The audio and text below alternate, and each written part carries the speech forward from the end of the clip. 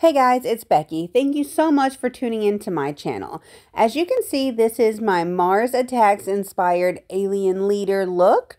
So if you think it's pretty cool, go ahead and give it a thumbs up. And if you haven't done it already, subscribe to my channel so you can get notifications every time I upload a new video. If you think this looks pretty cool, stick around. I'll show you how I did it. First, I started off by taping a bunch of grocery bags to a mannequin head, covering that all in one grocery bag so the latex wouldn't stick to my mannequin head, and shaping it the way I wanted with a little bit of tape. Then I took a roll of toilet paper, twisting up long strands of it and placing it all over the brain in these swirly little patterns, then covering that toilet paper with some liquid latex. It took quite a while and was quite tedious, but as you can see, it was well worth the effort. After letting the mannequin head dry for about a day, I released it with some baby powder and made sure it fit my head.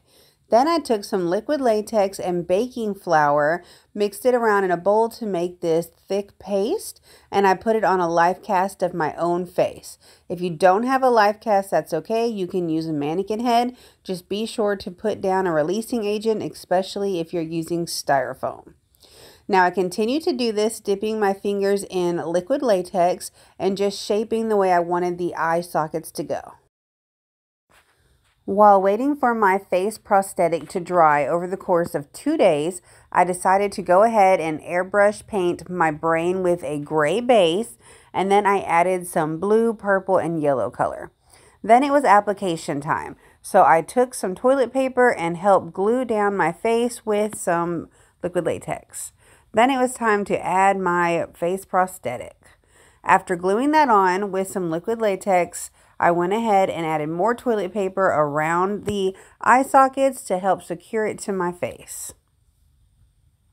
Then it was time to airbrush paint. I'm using a yellow airbrush paint from Graftobian and I'm just painting the eye sockets to give it a yellow base.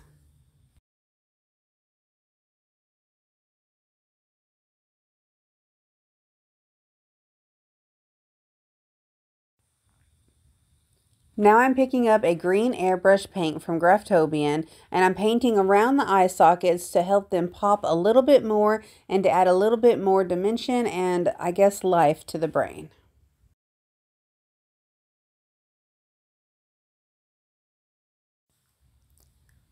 After painting my chin with some liquid latex before it completely dries, I'm just taking a paper towel and squaring off my chin and then I'm going to cover all of that with liquid latex after I get it to the shape that I want it to go.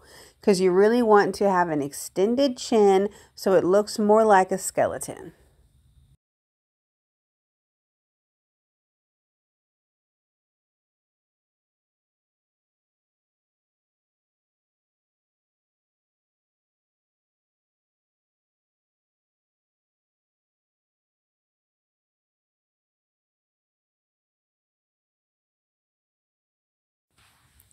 And because I thought my chin needed to be extended a little bit more and have some definition from the jawline, I took another piece of paper towel and just basically put a square right on the edge of my chin, tucking it under and covering it all in liquid latex.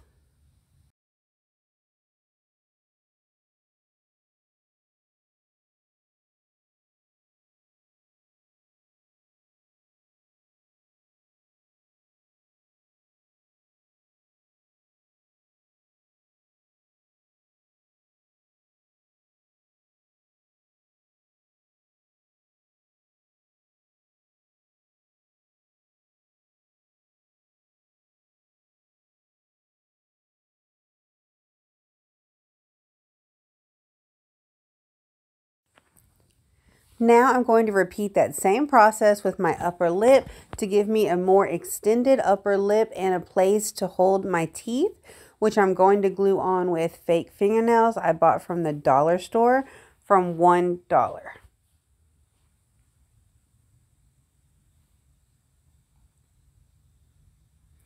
After I get all my teeth in place, top and bottom row, I'm going to paint my jaw to match my eye sockets with that yellow airbrush paint from Graftobian. I'm also bringing that yellow into my brain just to give it a little more interest and definition. After I've done that, I'm taking an orange water activated paint from Mehron and I'm painting my gums, top and bottom row.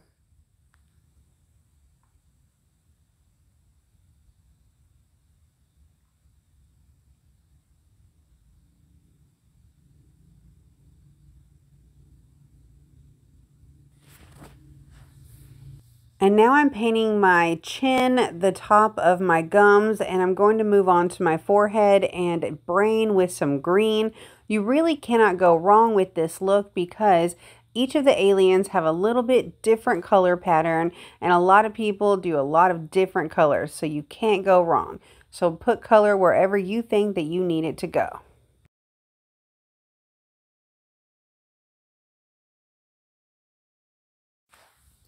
Now using a black water activated paint from Mehron, I'm going to paint in between each tooth just to give it a little bit of definition.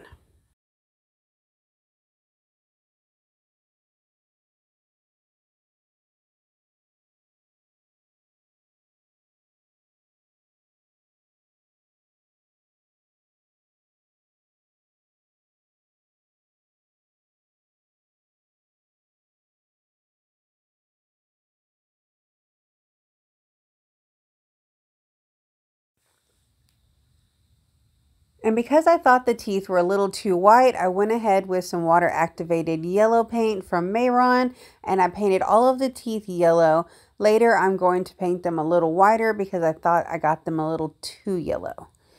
Now taking some black aqua paint also from Mehron, I'm going to paint the inside of my lips and the side of my jaw just to give it some depth and definition, just selling the fact that we only have teeth and I don't have real lips behind it.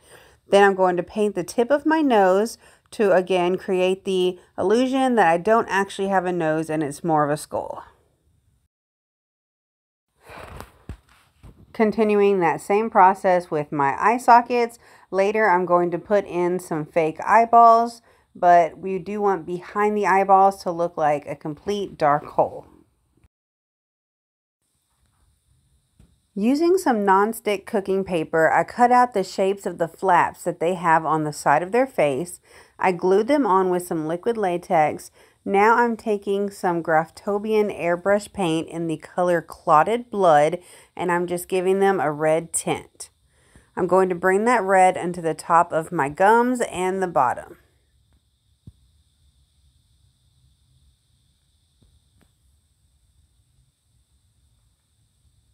Now remember I said I thought my teeth were a little too yellow, so I'm taking a Mehron water activated paint and just giving them a light dust of white to bring the color back.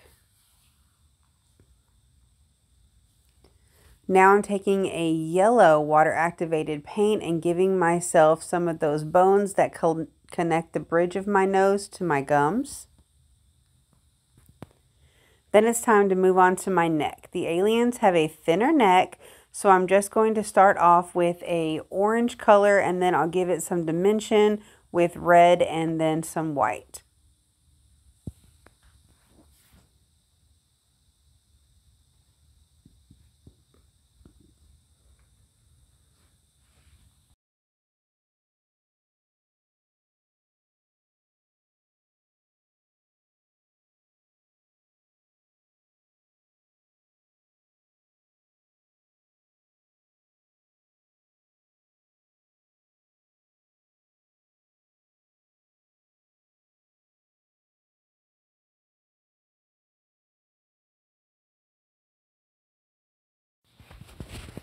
I took some eyeballs that I bought from the dollar store and drilled holes in the center of them so I could see, then added a cape and a cheap squirt gun from the dollar store.